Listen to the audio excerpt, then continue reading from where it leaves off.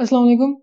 Last video में हमने बात की थी कि रिज रिग्रेशन क्या चीज़ होती है और उसके बारे में हमने बहुत सारी चीज़ें ऐसे देखी थी जो हमारे काम मॉडलिंग के हवाले से बहुत ज़्यादा आसान कर देती है। उसमें हमने ये चीज़ देखी थी कि अगर उसमें हमारे पास बहुत ज़्यादा पैरामीटर्स आ गए हैं, बहुत ज़्यादा कॉलम्स आ गए हैं और डेटा सेट हमारे पास बहुत छोटा है तो वो उन वेरिएबल्स का जो इंटरप्रटेशन है, जो उनको किस तरह वो श्रिंक कर सकते हैं, उनका इफ़ेक्ट किस तरह ओवरऑल श्रिंक करती है। आज हम एक और रिग्रेशन के बारे में देखेंगे कि लेसो रिग्रेशन रेगुलराइजेशन टेक्निक किस तरह है और रिज रिग्रेशन से किस तरह मुख्तलिफ़ है और इसकी ज़रूरत हमें क्यों पड़ती है? चलें शुरू करते हैं।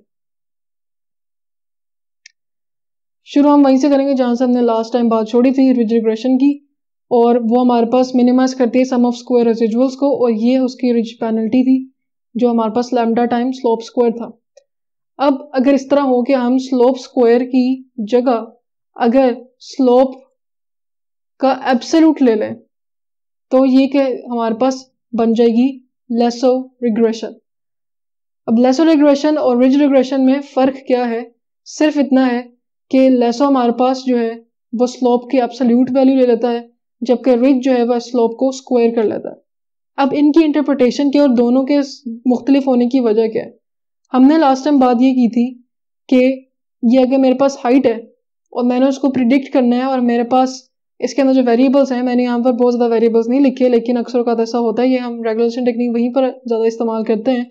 जब मेरे पास बहुत ज़्यादा कॉलम्स हो जाएँ या बहुत ज़्यादा पैरामीटर्स हो जाएँ और डेटा का साइज़ छोटा हो और मुझे इवेंचुअली नहीं पता कि इसमें से कौन सा ऐसा वेरिएबल है जो वाकई में हाइट प्रिडिक्ट करने के लिए इस्तेमाल होना चाहिए, ठीक है? तो मेरे पास ये है हाइट को प्रिडिक्ट करने के लिए मैंने यहाँ पे वेट लिखा हुआ है जीन का डिफरेंस लिखा हुआ है स्टार आपका जोडिक साइन कौन सा है? और स्वेलो रेट लिखा हुआ है कि आप किस स्पीड से फॉर एग्जांपल खाना निगलते हैं। ठीक है? अब ये तो वाजह तौर पर हमें नज़र आ रहा है कि स्टार का और स्वेलो रेट का कोई भी यहाँ पर ताल्लुक नहीं है आपकी हाइट के साथ। लेकिन डेटा अगर बहुत ज़्यादा, जिसमें बहुत ज़्यादा डिफरेंट किस्म के पैरामीटर्स होते हैं, जो आजकल डीप लर्निंग की दुनिया में हम हैं, और डेटा इतना ज़्यादा हमारे पास ऐसा होता है पैरामीटर्स के हवाले से कि हम हर इंडिविजुअल पैरामीटर्स को चेक नहीं कर पा रहे होते और हम सिंपल उसका मॉडल डेवलप करना चाहते हैं, ये देखने के लिए कि किस पैरामीटर का असर ज़्यादा होना चाहिए, या होता है हमारे प्रोडिक्टर यानी कि हाइट के ऊपर। अब रिज रिग्रेशन क्या करता था? रिज रिग्रेशन क्या करता है कि जो हमारा ओवरऑल वेरिएबल्स है, जिसके हमने पिछले वीडियो में बात की थी, वो स्लोप स्क्वायर जब होता है और लैमडा हमारे पास आता है, जितना लैमडा हम ज़्यादा करते जाते हैं, वो उन सबको साइज़ को श्रिंक करता जाता है। यानी कि जितना हम लैमडा बढ़ाते जाएँगे यानी कि आपने एक लेमडा सर्टेन क्रॉस वैलिडेशन से उठा लिया है।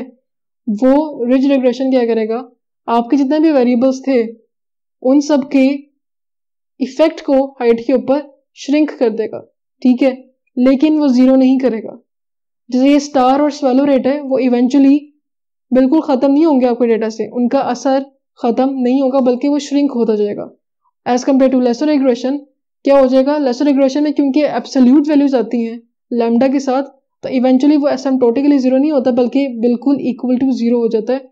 और जब आपने लेसर इक्वेशन प्रोडिक्ट करना होता है हाइट को तो ये स्टार और स्वेलोरेट बिल्कुल ख़त्म हो जाएगा और हाइट आपका वेट और जीन से ही कैलकुलेट होगा। तो यहाँ पर दोनों डिफरेंस है कि अगर आपके पास ऐसा डेटा है जिसके अंदर बहुत सारे यूजलेस वेरिएबल्स हैं, बहुत ज़्यादा यूजलेस वेरिएबल्स हैं, और आप चाहते हैं कि आपका जो हाइट है या कोई भी आप प्रिडिक्ट करना चाहते हैं चीज़ वो उन यूजलेस वेरिएबल से बच जाए तो आप लेस रिग्रेशन इस्तेमाल करते हैं।